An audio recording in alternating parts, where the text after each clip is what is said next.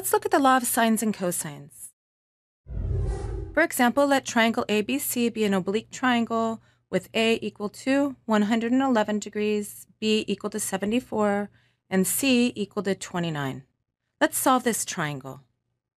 Let's begin by marking our given information on the figure here.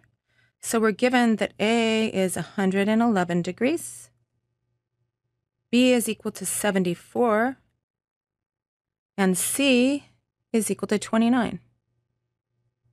And therefore, we're in what's called the SAS case, which stands for side, angle,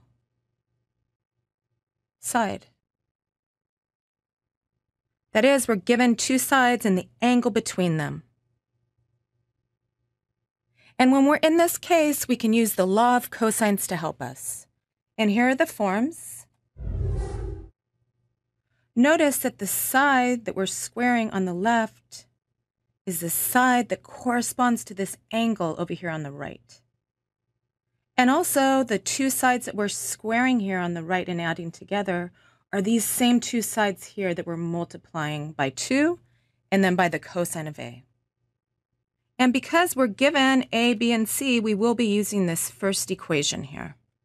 So we can solve for A as follows.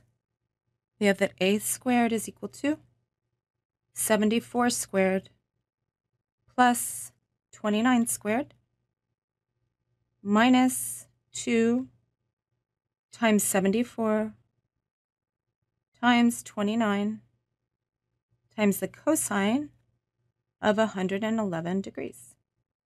Or A is equal to the square root of all of this.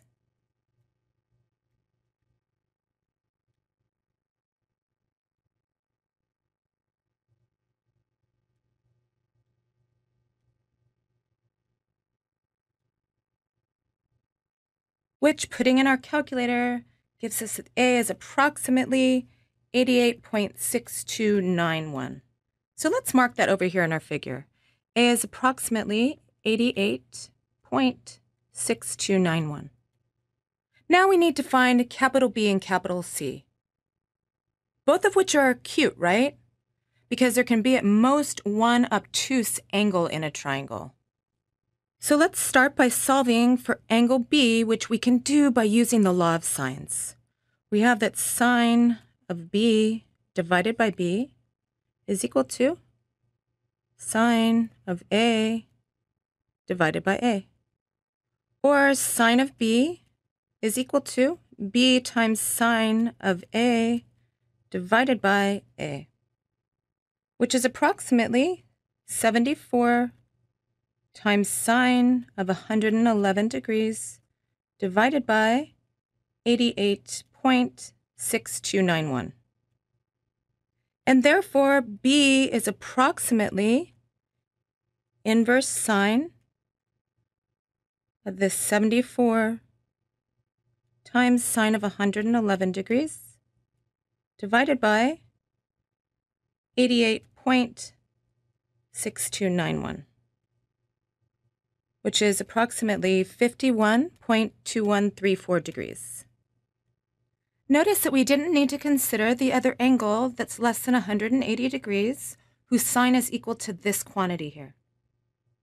Because that other angle would be in quadrant 2 and it would be obtuse, and we can have only at most one obtuse angle in a triangle. And we already were given that A is 111 degrees, which is obtuse. So therefore, this would be our angle B. So let's mark that in our figure here. So B is approximately 51.2134 degrees. And finally, we can find capital C by using the fact that the angle measures in a triangle add up to 180 degrees. That is, C is equal to 180 degrees minus A plus B, which is approximately 180 degrees minus 111 degrees plus 51.2134, which is equal to 17.7866 degrees. So let's mark that here on our figure. C then is approximately 17.7866 degrees. And this is how we can use the law of sines and the law of cosines to solve oblique triangles in the SAS case. Thank you, and we'll see you next time.